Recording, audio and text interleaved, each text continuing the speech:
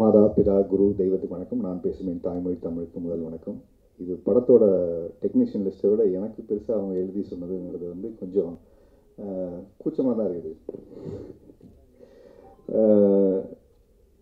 இந்த படத்தை பற்றி எங்கேருந்து ஆரம்பிக்கிறது அப்படின்னு தெரியல. ஏன்னா அந்த படத்துக்கும் எனக்கும் சம்மந்தம் இல்லை. டைரக்டருக்கும் எனக்கு ஒரு சம்மந்தம் இருக்குது எனக்கு ரொம்ப நாளைக்கு ஒரு கதை வந்து சொல்லிட்டு போனான்னு நினைக்கிறேன். உள்ளே வந்து பார்த்தோன்னே எங்கேயோ பார்த்த மாதிரி இருக்குது அப்படின்னு. அப்புறம் உள்ளே வந்து ஆனந்த் இருந்தால் பேசிட்டு வந்தேன். நீங்கள் தான் பா அப்போ ஒரு பத்து பா இருபது வருஷமாக கதை எழுதிருக்கீங்க எல்லோரும் நிறைய பேர் பார்த்துருப்பீங்க அப்படின்னு சொல்லிட்டு உங்களுக்கு சொன்னேன்னு சொல்லி சொன்னார். பர்சனலாக அந்த படத்துக்கும் நமக்கு ஒரு என்ன தொடர்பு அப்படின்னா three point six point nine என் வண்டி நம்பரு டெஸ்லா இப்போ நான் அதோட ஒரு சூட்சமான ஒரு எனக்கு நான் இந்த நம்பரை எடுக்கும் போதெல்லாம் அப்படிலாம் பெருசாக தெரியாது. இந்த மூணு ஆறு ஒன்பதுக்கு பின்னாடி பெரிய கதைகள்லாம் அதுக்கப்புறம் நிறைய பேர் சொல்ல கேள்விப்பட்டிருக்கேன். சரி இந்த படத்தை எதுக்கு நம்மளை கூப்பிட்ருக்காங்க அப்படின்னா இந்த படத்தை மக்கள்கிட்ட கொண்டு போய் சேர்த்தோம். ப்ரெஸ்ஸுக்கெல்லாம் வந்திருக்கீங்க. இந்த படத்தை பற்றின தகவல் சொல்லணும் இல்லையா? ஆனந்த் எப்போவுமே என்ன பண்ணுவார்? அவர் ஒர்க் பண்ணுற படங்களுக்கு வந்துருங்கன்னு சொல்லுவார்.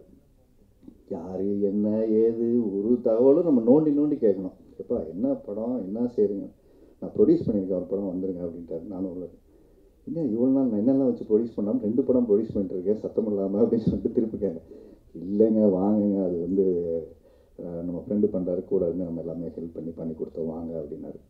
அப்புறம் என்ன கதை? ட்ரெய்லர்லாம் போடுவீங்களா?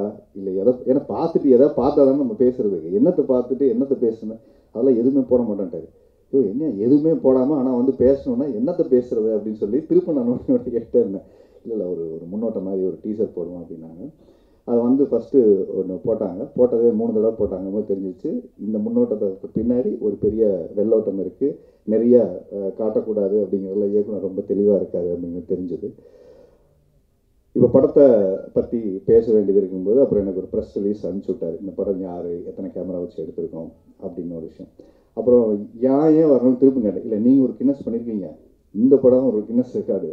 அதனால் அது சம்மந்தப்பட்டிருக்கு. நீங்கள் அதுக்கும் வரலாம் அப்படின்னு சொல்லி பேசினார். இப்போ டைரக்டர் பேசுனதுலேருந்து நமக்கு இந்த படம் எதை பற்றின ஒரு படம்.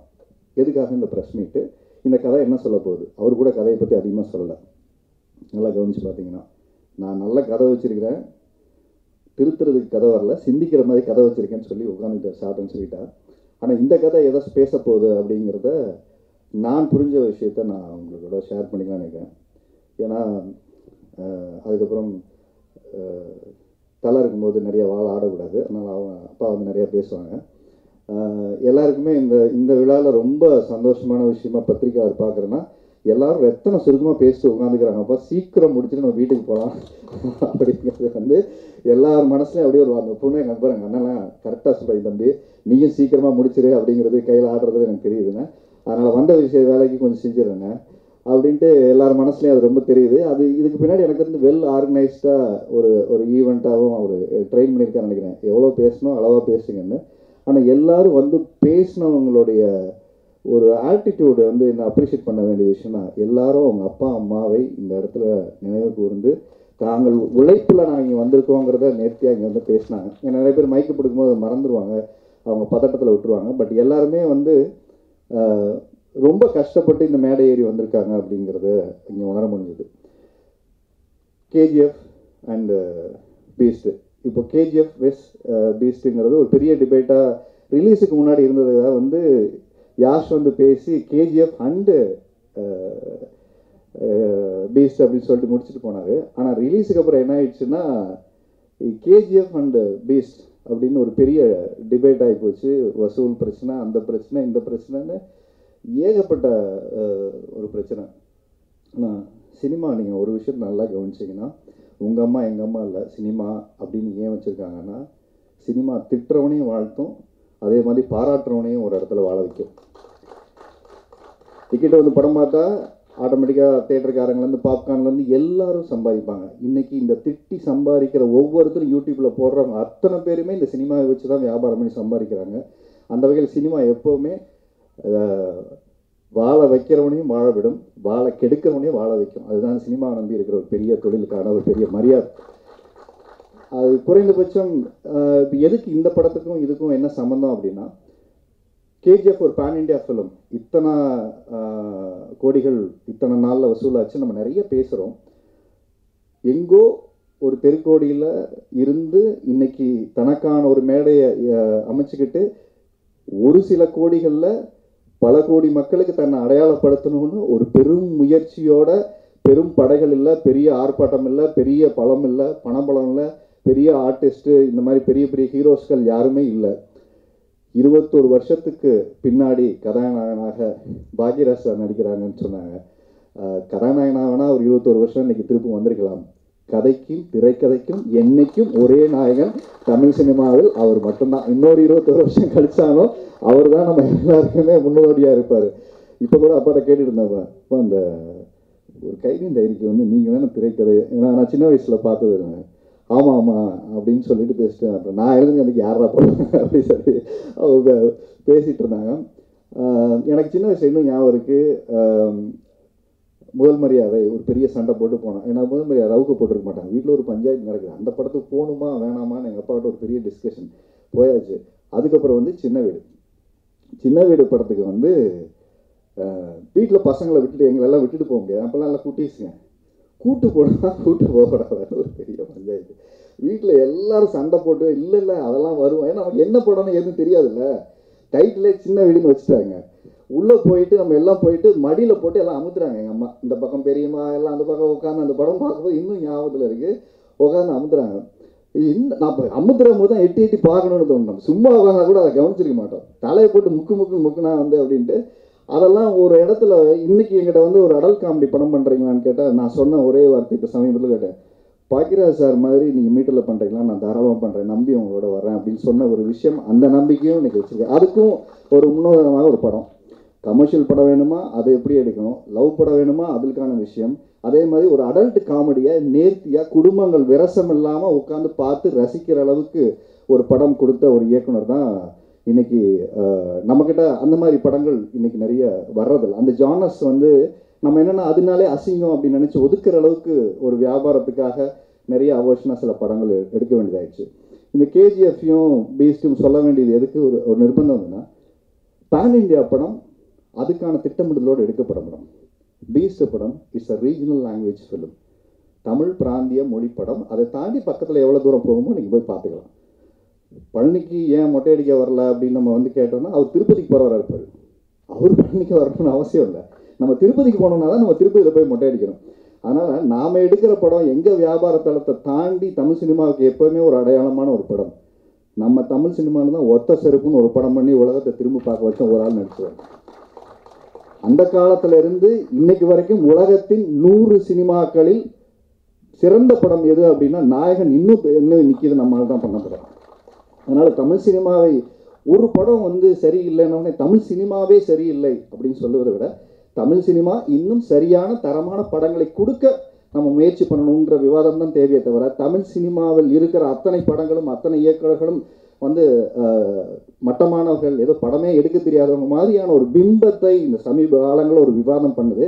அந்த விவாதம் மூலியமாகவும் அந்த சினிமாவை விமர்சனம் பண்ணி நீங்கள் காசாக சம்பாதிக்கிறீங்களே தவிர அது எந்த வகையிலையும் சினிமாவை வளர்த்தெடுக்காது. ஸோ சினிமா எப்போவுமே நல்லது பேசினாலும் இன்றைக்கி காசு கெட்டது பேசினாலும் காசு அப்படிங்கிற இடத்துல ஒரு விவாதம் ஆயிடுச்சு எதுக்காக இப்போ நான் சொல்கிறேன்னா இப்போ கேஜிஎஃப் போன்ற ஒரு படங்கள் வரலன்னு ஆசைப்பட்றோம். கேஜிஎஃப்பை விட இந்த மாதிரி பெரிய படங்கள் அப்படின்னு நான் ஏன் அதை பெரிய படம்னு சொன்னேன்னா சின்ன ஒரு முயற்சி. ஒரு படத்தை சாதாரணமாக எடுத்து ரிலீஸ் பண்ணிடலாம். எதுக்கு வந்து இருபத்தாறு கேமரா வைக்கணும்? எதுக்கு வந்து நானூற்றம்பது ஆர்டிஸ்ட்டை ஒரே ஃப்ரேமில் நடிக்க வைக்கணும்? வெறும் அறுபது எம் எண்பத்தி ஒரு நிமிஷங்களில் ஏன் நடிக்க வைக்கணும்? யோசிச்சு பார்த்தீங்கன்னா தன் உழைப்பை ஒரு இடத்துல கொண்டாடணுங்கிறத விட நாம சாதனையாளர் ஆகணுங்கிறது இல்லை நம் படைப்பு சாதனையான படைப்பா இந்த தமிழகத்தில் இருக்கணுங்கிறதா இங்கே ரொம்ப முக்கியம். அப்படி ஒரு படைப்பா ஒரு கேஜிஎஃப்க்கு பீக்கு பீஸுக்கு ஈக்குவலாக இங்கே பெரிய ஹீரோஸ் கிடையாது. பெரிய ப்ரொடக்ஷன் வேல்யூ கிடையாது. பெரிய பெரிய டெக்னீஷியன் கோடி கணக்கில் கொடுத்து சம்பளம் பண்ணவங்க கிடையாது. இவங்களுடைய மிகப்பெரிய சொத்து எதுனா இவங்களுடைய தன்னம்பிக்கை மட்டும்தான் இன்னைக்கு இந்த மேடையில் உங்களை எல்லாரையும் கூப்பிட்டு உட்கார வச்சிருக்கு. அந்த நம்பிக்கையோட தான் ப்ரெஸ்ஸை கூப்பிட்டுட்டு வெறும் முப்பது நாற்பது வினாடிகளில் ஒரு டீசரை போட்டுட்டு ஒரு தன்னம்பிக்கையோட உட்காந்து பேசுகிறோன்னா வார்த்தை தான் ஒரு இடத்துல நம்பிக்கையை படமாக கொடுக்குது. அடுத்து அவருடைய முன்னோட்டம் ஒரு ட்ரைலர் ரிலீஸ் பண்ணும்போது இன்னும் நிறைய விஷயங்களை கொண்டு வந்து மக்கள்கிட்ட சேர்க்கறதுக்கான இது ஒரு சின்ன முன்னோட்டம் இல்லை அதை நான் விவரமாக நான் சொல்லிக்கிறேன். ஏன்னா நான் விவரமாக கொஞ்சம் கேட்டு வந்தேன். இது வந்து என்னப்பா ட்ரைலர் போடுறீங்களா? பாட்டு இருக்குது இருக்கு. போடலை. பிளாக் பண்ணி வந்தான் அவன் நடிச்சிருக்கான் தம்பி படத்தோட கதை என்ன? அதை சொல்லிட்டேன் எப்படிப்பா அதெல்லாம் நான் சொல்ல மாட்டேன். டி ஜானர் சொல்லுடா என்னடா ஜானர் அப்படின்னு. இல்லை இல்லை சயின்ஸ் ஃபிக்ஷன் அப்படின்னு சொல்லி சொன்னான். இந்த த்ரீ சிக்ஸ் நைன் அப்படிங்கிறதுக்கு பின்னாடி ஒரு பெரிய கலர் இருக்குது ஐயப்பன் கோயிலில் வந்து எத்தனை படிக்கட்டு இருக்குது தெரியுங்களா பதினெட்டு. இட்ஸ் நைன் அது மாதிரி நூற்றி எட்டு தடவை வந்து நீங்கள் ஜபம் பண்ணிக்கணுவாங்க நூற்றி எட்டு நாள் விரதம் இருங்கன்னுவாங்க. நம்ம எல்லாமே சுற்றி பார்த்தீங்கன்னா த்ரீ சிக்ஸ் நைனில் தான் அடங்கும். உலகத்தோட அத்தனை சாராம்சங்களும் மூணு ஆறு ஒம்பதுக்குள்ளே தான் உங்கள் வாழ்க்கை அடங்கியிருக்கு. நல்லா நீங்கள் உள்ள கவனித்து பார்த்தீங்கன்னா ஸோ அதை பின்னாடி வச்சு ஒரு கதையை அமைச்சிருக்காரு அப்படிங்கும்போதே இது வந்து மூலக்காரன் மூலக்காரன்னு சொல்கிறத விட மூளை இல்லாத ஒரு ஆள் இந்த படத்தை எடுக்க முடியாது. அது ரொம்ப முக்கியம். டெஸ்லாவோட ஃபார்முலா எல்லாருக்குமே வந்து தாமஸ் ஆல்வா எடிஷனை தெரியும். டெஸ்லா அவர் நிறைய பேருக்கு தெரியவே தெரியாது. அவர் ஃபெயிலியர்ஸ் அவர் அப்படின்னு சொல்லுவாங்க. இல்லை அவர் நிறைய விஷயங்களை வந்து தோத்துட்டார். அப்படின்னு நிறைய ஒரு பெரிய விமர்சனம் இருக்குது அந்த டெஸ்லாங்கிற பேரே அதுக்காக தான் அவர் அந்த தியரி எடுத்துகிட்டு வச்சுருக்காங்க. ஸோ இவர் சயின்ஸ் ஃபிக்ஷனுக்குள்ளே அதை ஒரு அழகாக பொருத்தி அவர் வச்சுருக்காரு. நிறைய இந்த மாதிரியான முன்மாதிரியான படங்கள் எல்லாம் வெவ்வேறு மொழிகளில் எடுக்கப்பட்டாலும் ஆனால் ஆதியும் அந்தமுமாக தமிழில் மட்டுமே. இது போன்ற முயற்சிகள் விதைக்கப்பட்டு கொண்டே இருக்கு. அதுதான் இன்னைக்கு ஒரு படமாக இது நல்ல ஒரு படமாக இன்னைக்கு மேடை ஏறி வந்திருக்கு. உள்ளே உள்ள நான் நண்பர்கிட்ட பேசிட்டேன் இன்னைக்கு என்ன படம் போகணும் தெரில என்ன பேசணும்னு தெரில எப்போவுமே படத்துக்கு தொடர்பு இல்லாமல் நம்ம என்னத்தையாவது பேசிட்டு வச்சுட்டு தொலையக்கூடாது. நம்மளே திருப்பி பார்க்கும்போது எதுக்கு இதை பேசணும்? வந்தவங்கள வாழ்த்தணுமா? மியூசிக் டேரக்டரை பற்றி பேசணுமா? எடிட்டரை பற்றி பேசணுமா? படித்த நடித்த நடிகர்களை பற்றி பேசணுமா? எல்லாத்தையும் விட்டுட்டு வேறு ஏதாவது நம்ம பேசி ஏதோ ஒரு ஃப்ளோவில் போயிடுவோம். ஆனால் இந்த படத்தில் இதுக்கு உழைத்த அஹ், முதல்ல நான் நன்றி சொல்லிக்கிறேன். அவங்களுக்கு பெரிய வாழ்த்தையும் சொல்லிக்கிறேன். ஒரு விஷயம் இயக்குனரை தாண்டி இதுக்கு ஒத்துழைப்பு கொடுத்த அத்தனை டெக்னீஷியன்ஸ் ஏன்னா ஒரு மனித உழைப்பு இல்லாமல் பெண் மாபெரும் மனித உழைப்பு இதுக்கு பின்னாடி இருக்குது ஏன்னா என்னுடைய இயக்குனர் வந்து இந்த நாகேஸ்வரங்கம் பண்ண டைரக்டர் அவர் ஒரு ஷார்ட் ஃபிலிம் இந்த மாதிரி ஒரு சாரி ஒரு ஃபிலிம் ஃபியூச்சர் ஃபிலிம் எடுத்திருந்தார். சிங்கிள் கின்னஸ் ரெக்கார்ட் பண்ணியிருந்தார்.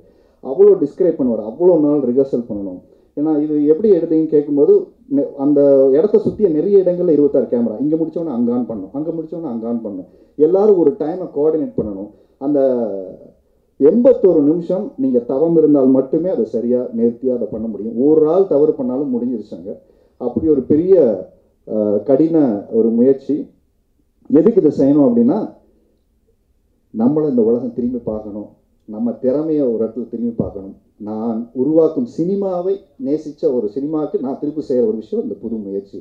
எல்லா இடங்களும் எவ்வளோ முயற்சி இருந்தாலும் அந்த புது முயற்சிக்கு எப்போவுமே ஒரு ஒரு வரவேற்பு இருக்கும்.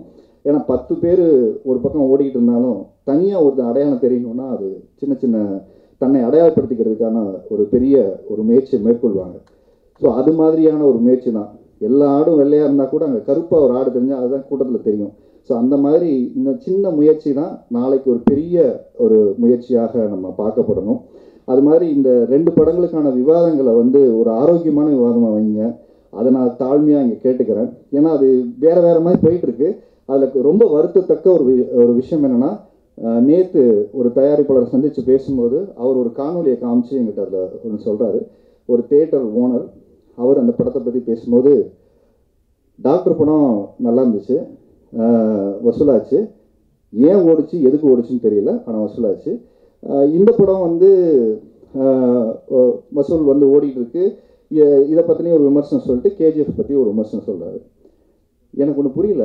இரண்டு வருஷமாக தேட்டரில் எந்த படமுமே இல்லாமல் தேட்டரில் இருக்க ஒவ்வொருத்தரும் எவ்வளோ கஷ்டப்பட்டாங்க தேட்டர் ஊழியர் எவ்வளோ கஷ்டப்பட்டாங்க. இன்னைக்கு படம் வந்திருக்கு. பீஸ்ட்டுக்கு வர்றவங்களும் உங்களுக்கு வருமானம் தான் கொடுக்குறாங்க. கேஜிஎஃப் வரவனும் காசு கொடுத்து தான் படுறாங்க. யாரும் ஓசியில் படம் பார்க்கறதுக்கு உள்ளே வரல. நீங்களும் ஓசியில் விடலை.